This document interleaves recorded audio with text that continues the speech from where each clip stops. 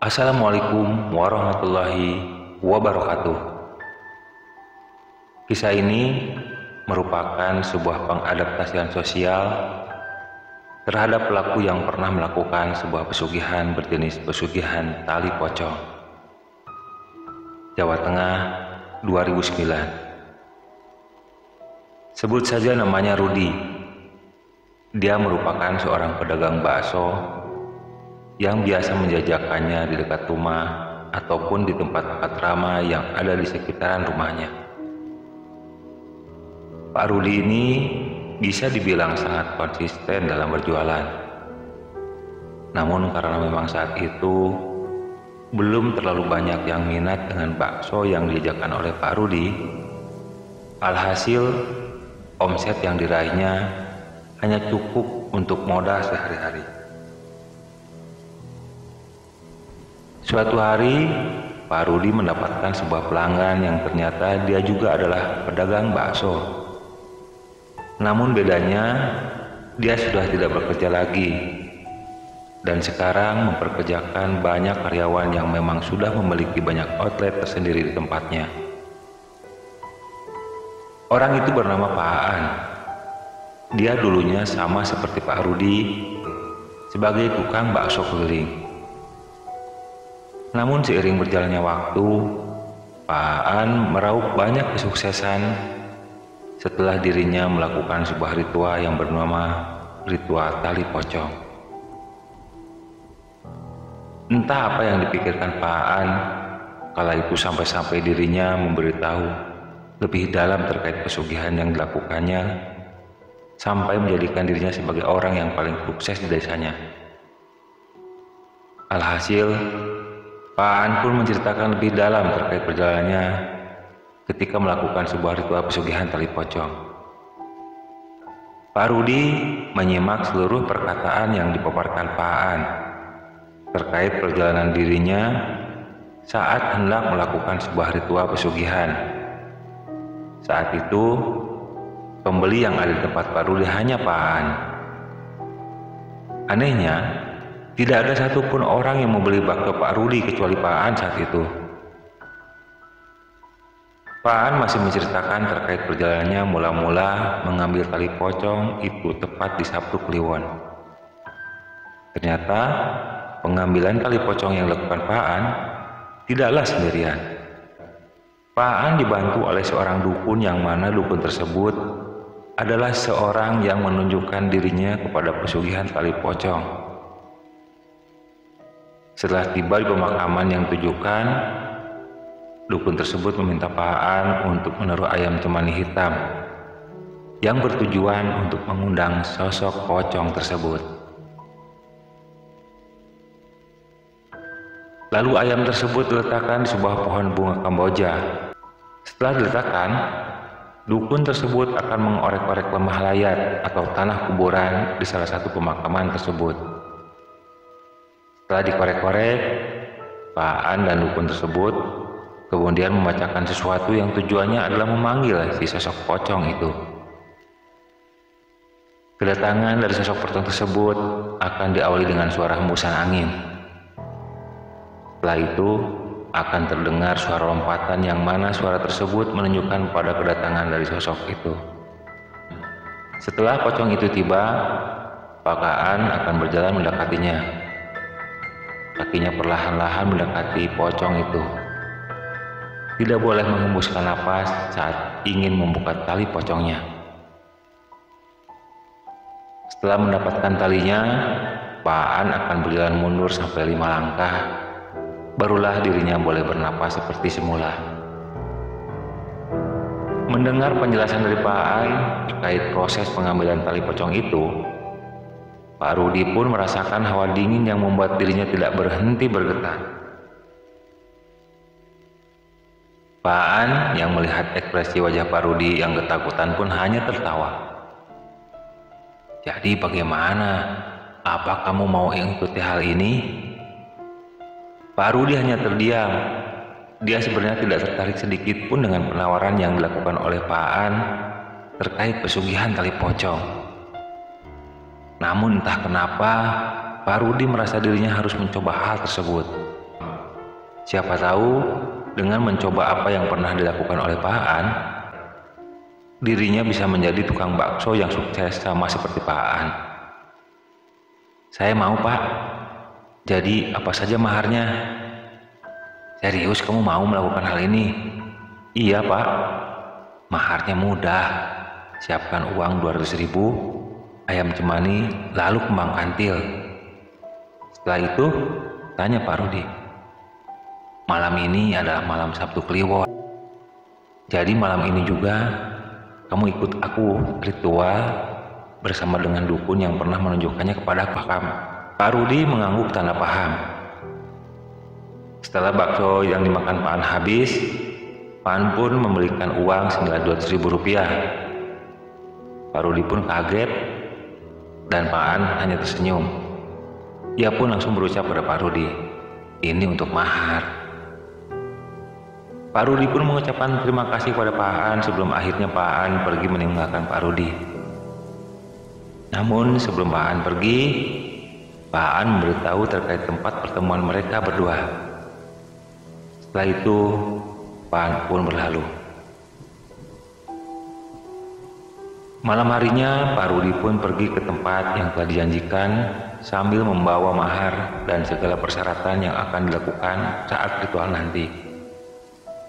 Tak lama kemudian, Pak An pun mendatangi Pak Rudi dengan menggunakan pakaian serba hitam beserta dengan seorang yang ini sebagai dukun perantara dari ritual tersebut. Bagaimana? Sudah siap? Sudah Pak, jawab Pak Rudi. Akhirnya mereka berdua pun berangkat menuju sebuah makam yang diyakini sebagai makam keramat di desa tersebut. Saat Pak Rudi menginjakkan kaki di pemakaman tersebut, dia merasakan hawa dingin yang begitu pekat. Tubuhnya bergetar hebat sampai-sampai keringat dingin keluar bercucuran saking merindingnya. Kanan kiri tempat tersebut sudah dipenuhi dengan makam. Suara-suara aneh mulai keluar dari berbagai tempat. Dimulai dari suara tawa seorang wanita, tangisan, suara anak kecil, Suara raman seperti harimau dan masih banyak. Sampai akhirnya mereka bertiga pun terhenti sebuah makam baru yang masih basah. Kata Paan, makam itu yang dituju sebagai ritual pada makam baru yang belum sampai tujuh hari dari penguburan. Mereka bertiga pun langsung memulai ritual tersebut. Pak Rudi memasang ayam cemani yang sudah disembelih di sebuah pohon Kamboja. Lalu dia juga menaburkan kembang kantil sekitaran kuburan tersebut dengan tujuan untuk memberikan pertanda bahwa kedatangan ketiganya karena maksud tertentu. Sesaat setelah semuanya dipersiapkan, tiba-tiba terdengar suara yang begitu mengagetkan dari dalam kuburan itu. Pak Rudi pun mendengar hal tersebut, langsung mundur ke belakang.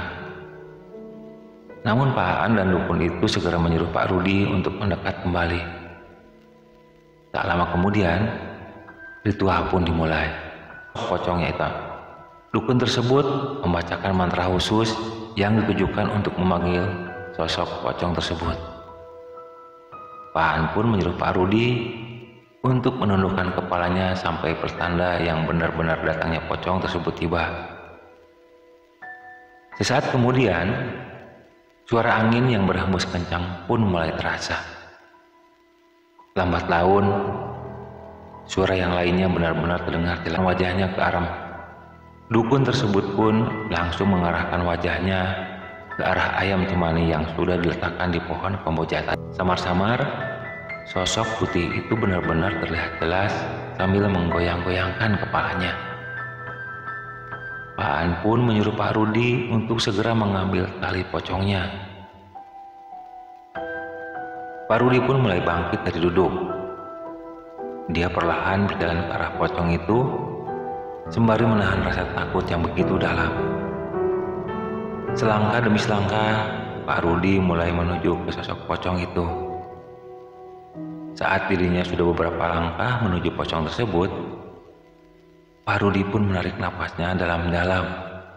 Karena dalam proses pengambilan tali pocong itu, Pak Rudi tidak boleh bernapas sedikit pun hingga dirinya bisa mengambil tali pocongnya dekat hadapan. Sampai saat di mana ketika Pak Rudi sudah berada dekat di hadapan pocong tersebut, Pak Rudi benar-benar melihat dengan jelas sosok tersebut dengan wajah yang benar-benar telah hancur, berantakan dan menebarkan bau yang sangat busuk. Pak Rudi menahan bau busuk tersebut dan menahannya dengan sekuat tenaga. Saat kedua tangan Pak Rudi ingin melepaskan tali pocongnya, Pak Rudi memalingkan wajahnya karena bau busuk itu sangat menyengat. Sampai akhirnya Pak Rudi pun tidak kuat menahan bau busuk tersebut. Dia pun tidak bisa lagi menahan rasa sesak di dalam dada. Alhasil, Pak Rudi pun bernapas dan membatalkan ritual tersebut. Sosok pocong yang telah berada di hadapannya kini telah menghilang dengan seketika. Pak An dan dukun tersebut buru-buru menuju ke tempat Pak Rudi. Mereka berdua tahu jika nantinya Pak Rudi tidak ditolong, sosok-sosok yang berada di sekitaran benar-benar akan menuju Pak Rudi untuk mengganggunya. Pak, bangun Pak, teriak Pak An. Tidak lama kemudian, Pak Rudi pun terbangun. Ayo kita pergi dari tempat ini, Ujar dukun tersebut. Kenapa memangnya pak? Tanya Pak Rudi. Lihat di belakangmu. Pak Rudi pun langsung terbangun dan melihat sesuatu yang berada jauh dari belakang tubuhnya. Ternyata di bagian belakang dekat dengan pohon beringin, sudah banyak sosok dengan berbagai macam bentuk. Sosok-sosok yang berada di belakang tersebut marah kepada Pak Rudi dan yang lainnya karena telah mengusik ketenangan mereka. Cepat bangun, kita harus segera tinggalkan tempat ini. Pak Rudi pun langsung terbangun dan beranjak pergi meninggalkan pemakaman itu. Namun belum juga mereka bertiga keluar dari pemakaman, tiba-tiba ada benda terjatuh tepat di hadapan mereka. Benda tersebut adalah ayam cemani yang digunakan memanggil pocong tersebut. Ternyata para sosok yang berada di pemakaman itulah yang mengembalikan keserahan ayam cemani itu. Dengan berhentinya ritual tersebut, bisa dikatakan bahwa ritual yang dilakukan Pak Rudi gagal total. Itu artinya, ritual tali pocong dilakukan Pak benar-benar telah berhenti. Dengan baru, dengan begitu, Pak Rudi akan kembali berdagang bakso keliling seperti biasa. Pengalaman baru yang di, lalu dengan pengetahuan dan pengalaman baru yang didapatkan oleh Pak Rudi, dia benar-benar ingin kembali memulai berjualan bakso dengan cara halal. Karena dia tahu, karena ia tahu resiko menggunakan tali pocong tersebut pasti ada dampak dan akibatnya. Sehingga dengan begitu, Pak Rudi pun berdagang bakso kembali seperti biasa. Sehingga dengan begitu, Pak Rudi kembali seperti semula sebagai tukang bakso keliling di desanya. Wallahu a'lam.